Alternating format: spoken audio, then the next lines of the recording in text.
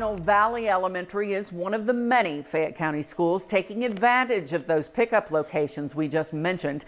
Teachers were out again this afternoon where they handed out breakfast and lunch meals to families. They started by dropping off approximately 700 meals, but that has increased drastically. They're now handing out around 2,800 meals per day.